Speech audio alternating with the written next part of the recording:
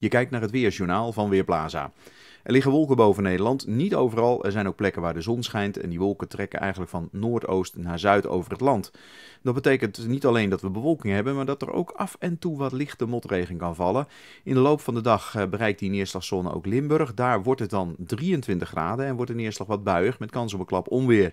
In de rest van het land 16 tot 21 graden met een stevige wind uit het noorden, vooral in de kustgebieden. Vanavond klaart het weer wat meer op en daalt de temperatuur naar een graad of 12. In het zuiden misschien nog wat gespetter, maar verder is het op de meeste plaatsen wel droog.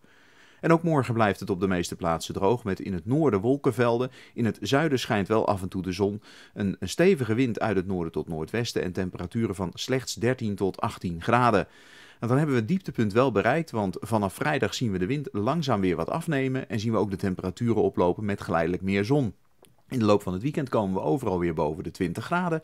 En dan hebben we te maken met de wind die naar het oosten is gedraaid. Ik ben Marco Verhoef van Weerplaza.nl